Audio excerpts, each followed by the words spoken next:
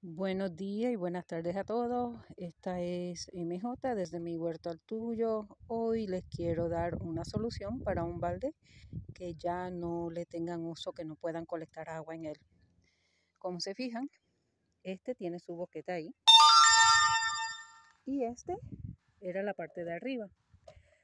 Pero como se empezó a romper aquí, pues ya no sirve para recolectar agua. Entonces pues decidí sacarle una segunda vida. Aquí tengo mi cama alzada y aquí tengo mi tiesto. Ambos van a ser para sembrar. Rápida y efectivamente ya resolucioné.